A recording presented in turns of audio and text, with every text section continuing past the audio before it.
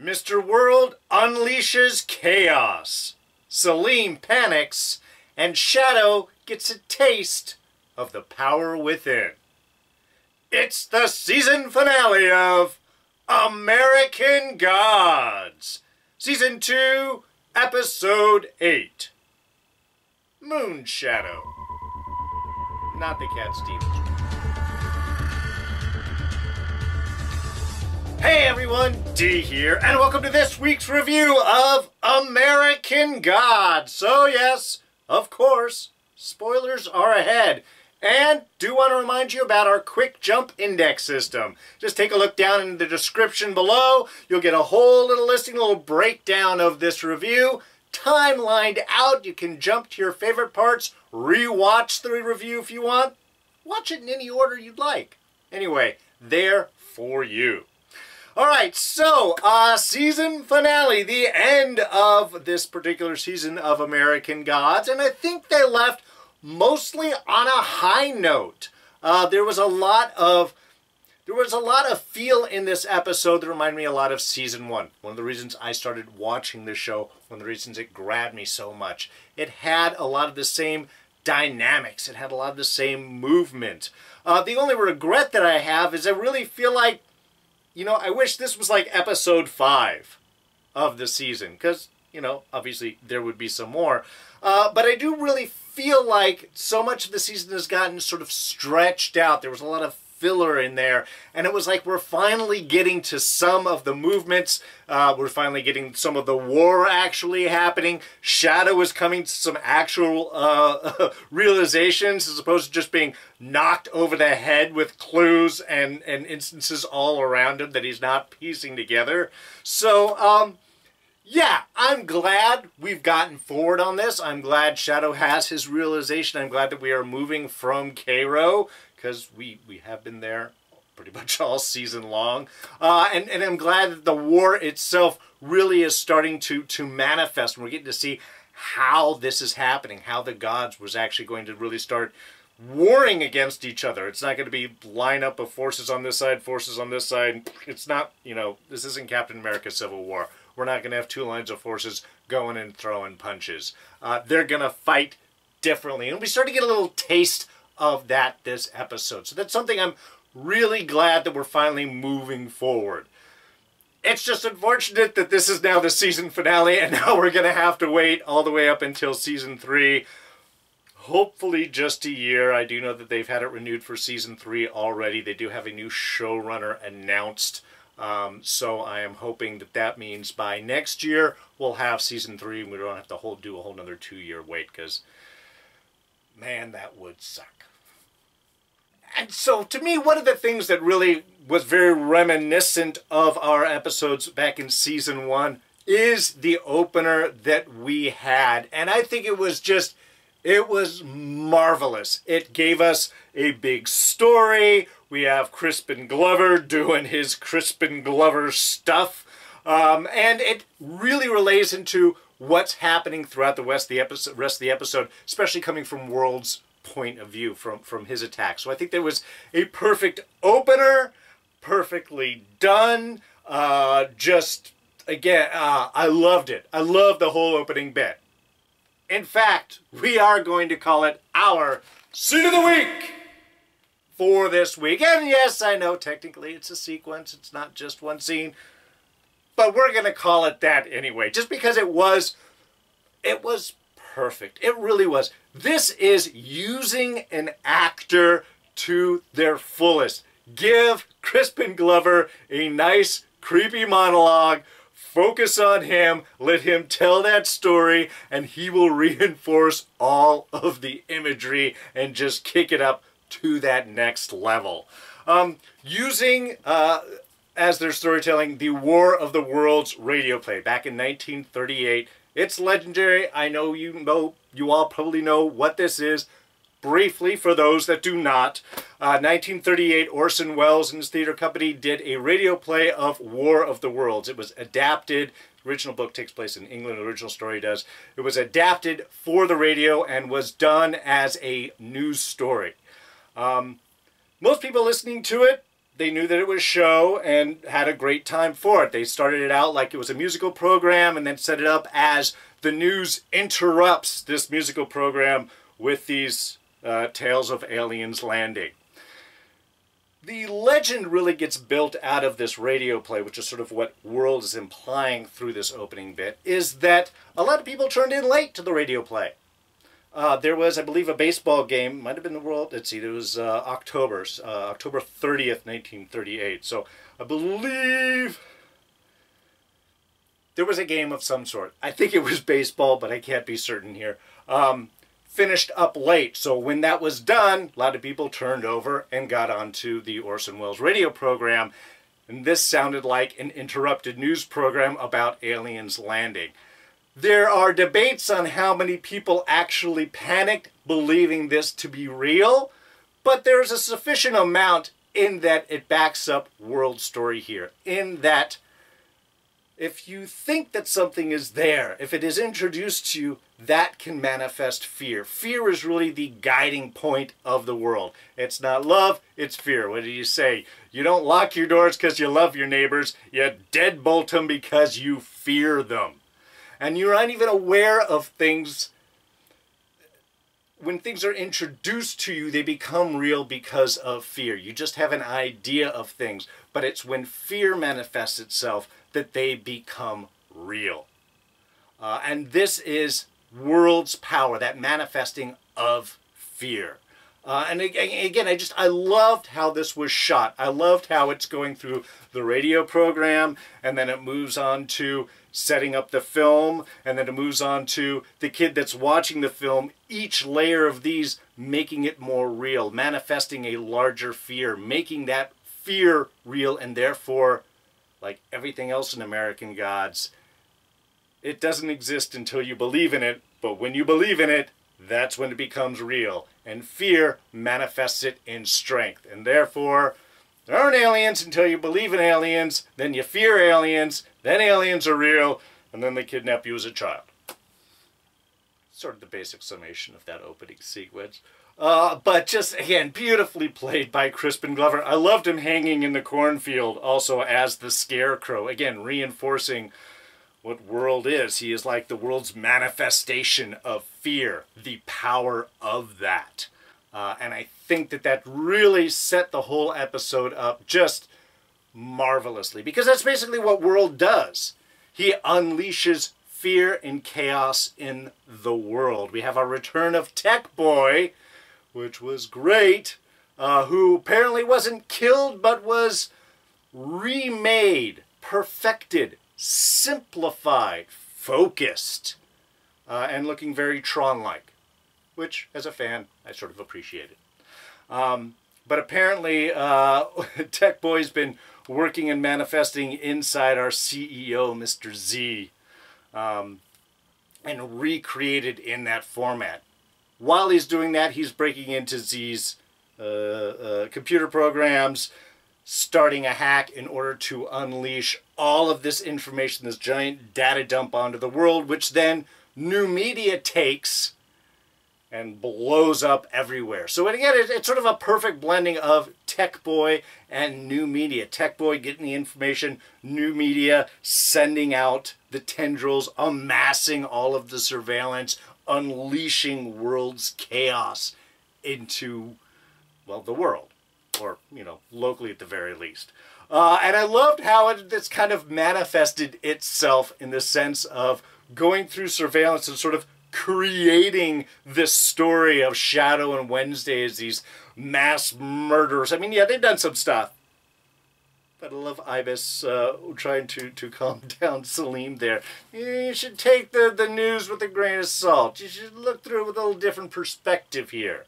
Uh, but the idea that media can then take all of this information, package it together, and sell this lie, this story to the people, um, creating panic, runs on banks, dropping information, attacking financial systems, all the work that Tech Boy is doing, then new media is being used to blow it up and make it bigger and have its effects felt throughout the population, which then, fear-wise, feeds into Mr. World. So it, it, it's sort of a perfect unleashing of godly powers uh, uh, on the uh, on the earth, and I think that was just it was wonderfully done. It gives us, like I said, this different way of seeing gods working, and it's not so much attacking the gods themselves, but their helpers, their worshippers, focused, of course, mainly on Shadow. Well, Wednesday also wanted, and awesomely, Salim.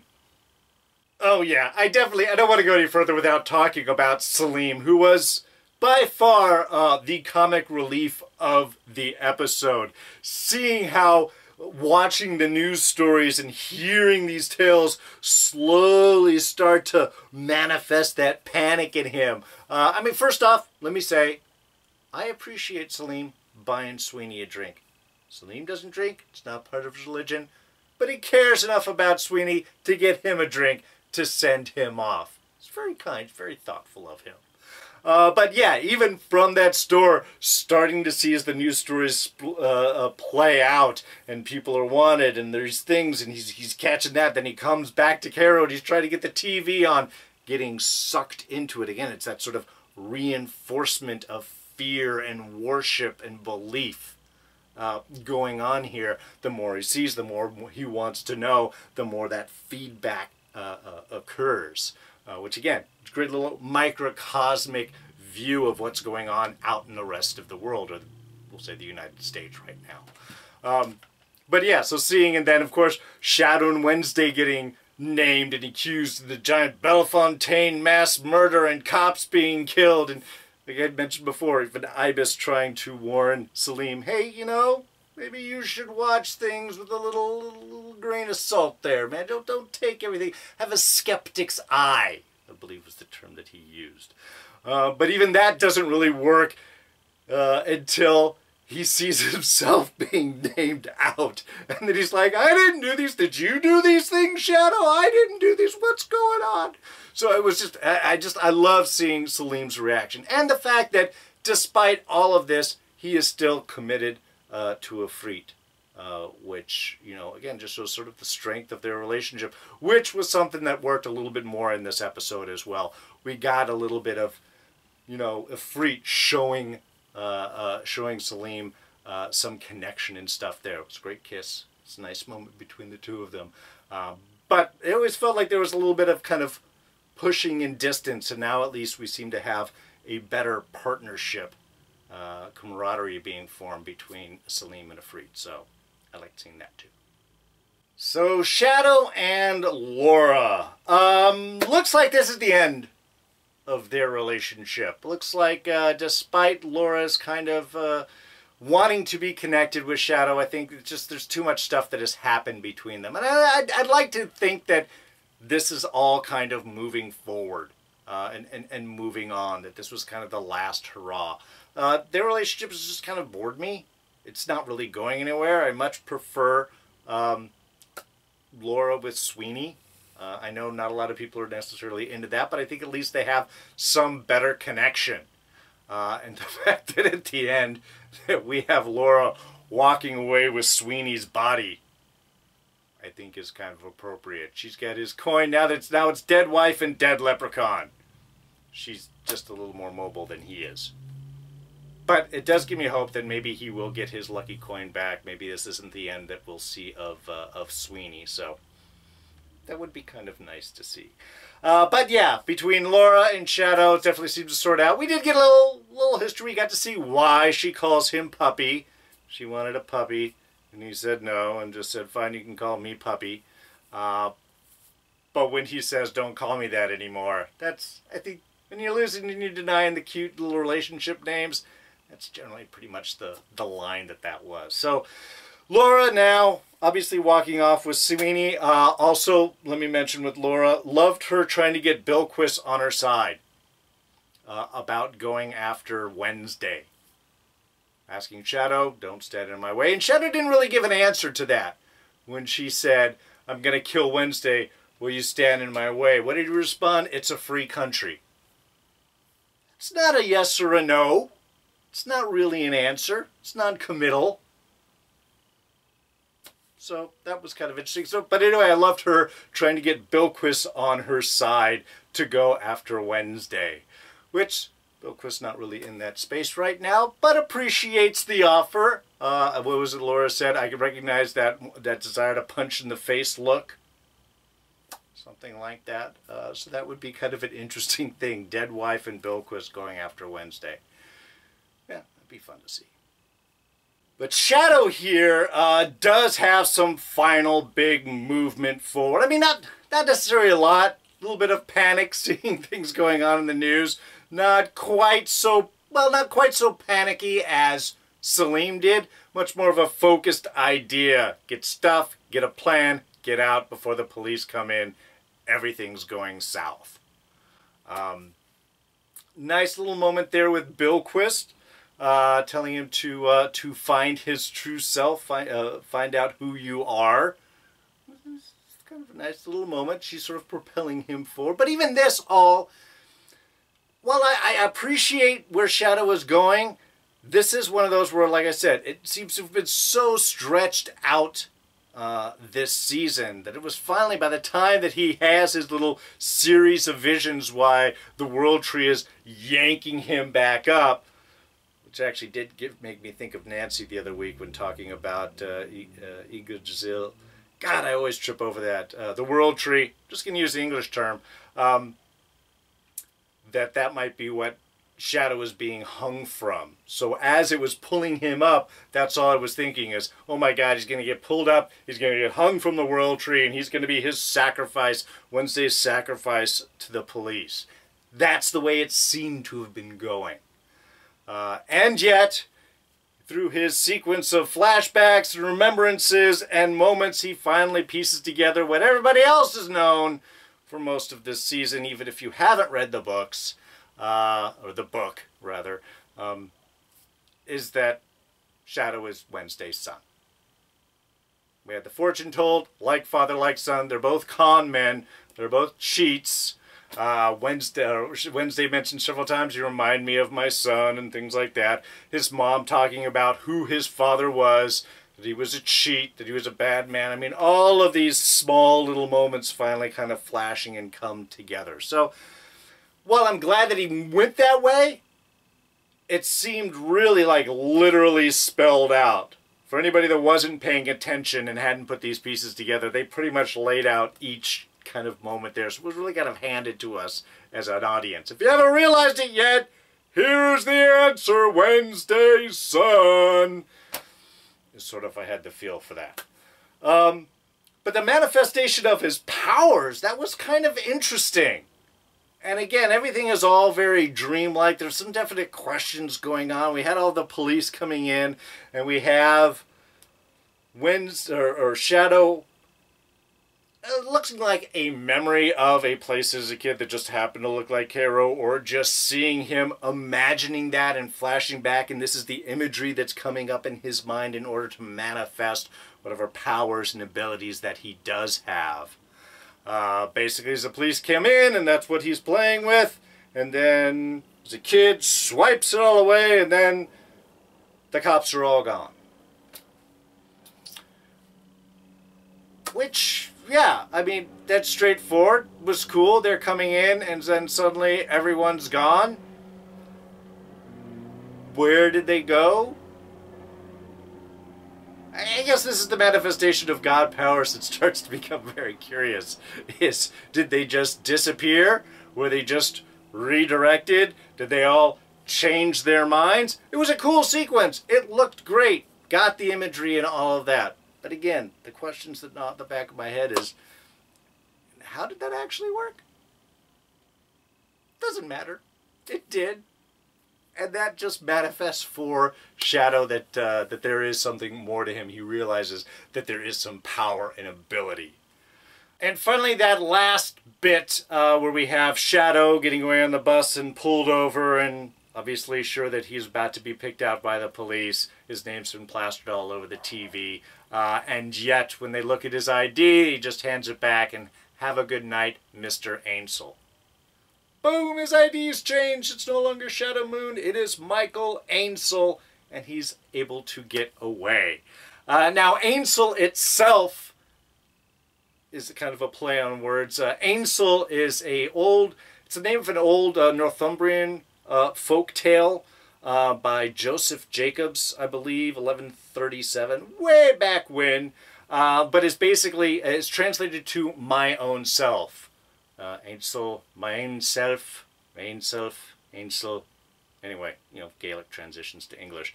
Uh, but it's basically the story of a fairy who is beaten by a small child due to clever wordplay. Um, briefly, uh, kid's not going to bed, goes downstairs to play. A fairy comes down the uh, um, the chimney, introduces herself as my own self, to which the kid replies, Hey, oh, I'm just my own self too. Ha ha ha ha. Anyway, the two are playing, the fire pops, lands on the fairy's foot, she screams complains, the fairy's mom calls down from uh, up in the chimney, says, what happened?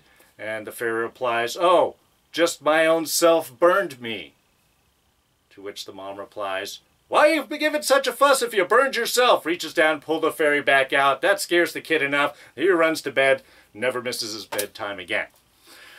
Um, so yeah, it's just, again, it's a clever uh, play on words, but it also is really implying that sort of, uh, that, that fairy, that otherworldly being um, that Shadow is. So it was kind of a, a perfect little way of doing that, and again, showing that further manifestation of Shadow's power. Though we did have Odin uh, saying that his son's going to be just fine. Just fine. No thanks to him, man. He just took off, didn't he? Just, just sitting in the diner the whole time. You know, it was kind of interesting that uh, none of the news reports bothered him at all. He is a clever con man, isn't he? Oh, and I don't want to wrap things up without mentioning the lovely uh, dialogue exchanges between Nancy and Ibis uh, as they're playing chess and the world sort of falls apart around them. I kind of get the idea this is almost these two actors just improvising and just sort of playing off whatever's going on. There was just sort of a natural uh, a pattern of speech going on between the two of them. It was just, it was really interesting. But it was just sort of fun how they're sort of commenting about the next moves and things to do and referring back to Shadow and what's happening, all as the chaos and movement is happening around them. Um, also, Ifrit coming in uh, a little interesting question Ibis throws at Ifrit there too. Uh, what is your ability? How far against Wednesday's wishes, Wednesday's orders can you go? I love his, his scary response. Well, I can kill anyone or anything I want. Nancy's like, oh, saw it sounded so scary when you say things like that. Again, it's just, that's the fun dynamic between these characters. I think it really worked in this episode, and I'm glad they got a little bit of playtime. Not so serious, just more like gods messing with each other, which was fun. So that's sort of where uh, we leave things with this season. World has unleashed panic and chaos, uh, sort of feeding on that that that uh, fear feedback system. The more you learn, the more you gotta watch, and that feeds into uh, new media, who's feeding it all back into world. And we got Tech Boy doing damage. Again, love all that. Love his little conversations with Z there. Again, re rebuilding onto God's not. Uh, you're not made in God's image. God is made onto your image. Uh, also, the idea of my power is goes as far as your imagination, and that's the problem because imagination is only limited by fear. Again, we're, we're feeding back into these ideas, but this is sort of this is how world is doing his attack against the, the old gods. And it was just, again, I'm not sure how all this is going to continue to play out, but I love seeing the battlefield sort of being set. I just wish we got more of that to see this season and don't have to wait uh, all the way up until next season. Um, Wednesday is off somewhere. Not sure what he is doing. Uh, Shadow also on the run. Is he running from uh, Odin? Is he going to end up running back to Odin? And everybody else, Ibis, Nancy, they're off and loose and going to be gathering up in the next location. So yeah, it's kind of leaves things with everybody out and on the run and separated, uh, but at least the battle seems to have begun. Uh, the war uh, has really begun to be engaged. So very sad. We have to wait a whole nother year to see how this plays out. But I did appreciate how this episode moved forward and sort of closed out this season. At least we have places to go now. So that is going to wrap us up. Thank you so much for watching these reviews all season long. Hopefully you will come back next season. Uh, but we do have some things coming up right now. We've got Game of Thrones final season. That's going on right now. We've got three more episodes. Well, tonight's episode and then three more after this. Uh, Agents of S.H.I.E.L.D. returns for season six on May 10th. Looks like we're going to have a Legion returning in August. So got some great fun fare coming forward. Uh, still waiting to hear uh, on when Mr. Robot comes back for its final season as well. So, those are all the things we've got coming up. But we're going to wrap this up for now. Again, thank you for joining me. What did you guys think of this episode? What did you guys think of the season and where we're going? Has it kept you engaged? Has it re-engaged you? Has it lost you? Let me know what you guys are thinking. Throw your ideas right down in that comment section below. You can always catch me on Twitter and Instagram. I am at Darrin Jaques. And again, a lot of shows coming up. Don't miss them. You won't if you're a subscriber. Do that by clicking this button right here. And we'll throw up a couple of our latest reviews right here for you to check out. Anyway, that's going to be it for me. Thank you so much for joining me. I'm D, and I'm out of here. Catch you guys next time. Bye-bye.